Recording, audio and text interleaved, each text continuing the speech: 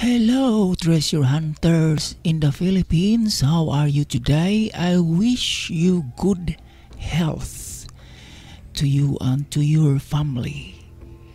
Turtle treasure signs have been used all over the world as pointer and markers. They used to give the treasure hunters directions and depth to the target.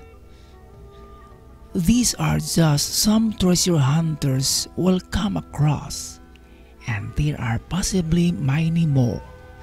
The turtle sign is found as carved sign on a rock or inside caves or as carved rock or cement shapes and will be found on mountains, ranges, lakes and streams and rivers.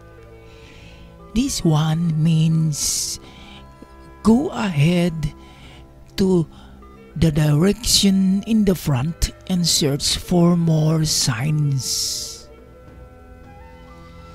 This turtle means the tail is pointing to the directions of the item, probably 7 to 10 meters.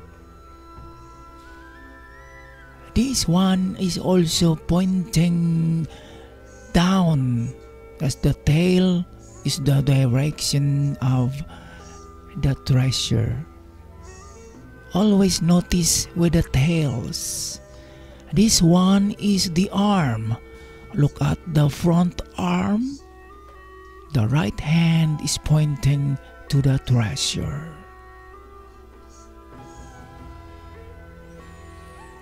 The turtle with no head means the treasure has been already taken by some treasure hunters ahead of your time. Turtle with no legs and heads might be meaning might be the meaning of this is that treasure is underneath or below. This turtle means go ahead and search in front directions for more signs. This turtle with the cross on its back and a drilled hole means that the treasure is in the right side of the turtle 3 to 5 meters in distance. The turtle is standing up and climbing up means the treasure is uphill in the mountains or in hills. So you have to travel more and farther. This turtle notice the head and the eyes is pointing towards the exact spot of the treasure. So notice the head and the eyes.